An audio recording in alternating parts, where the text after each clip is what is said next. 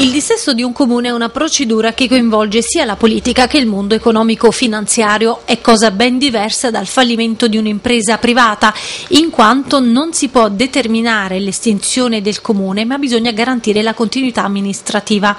La procedura dunque crea di fatto una frattura tra la precedente amministrazione e l'amministrazione controllata.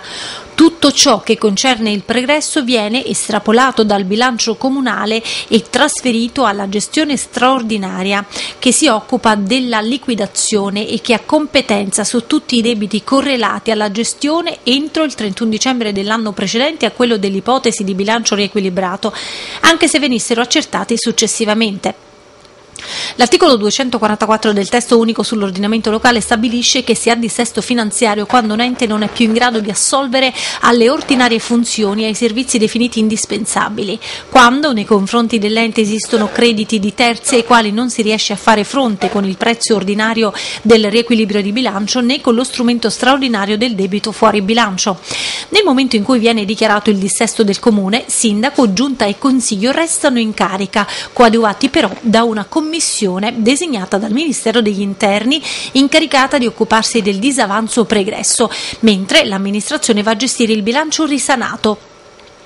La sola ipotesi di commissariamento del comune si verificherebbe nel caso in cui l'amministrazione non dovesse approvare il bilancio di previsione. L'ente dissestato è tenuto ad approvare un nuovo bilancio basato principalmente sull'elevazione delle proprie entrate a livello massimo consentito dalla legge.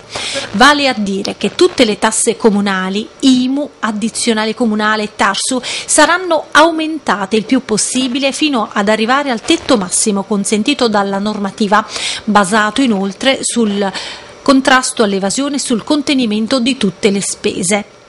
Spese comunali che significano innanzitutto personale. La legge prevede infatti che gli impiegati comunali debbano essere nella misura di 1 su 93, pertanto da questa procedura scaturiranno esuberi di personale che verrà posto in mobilità.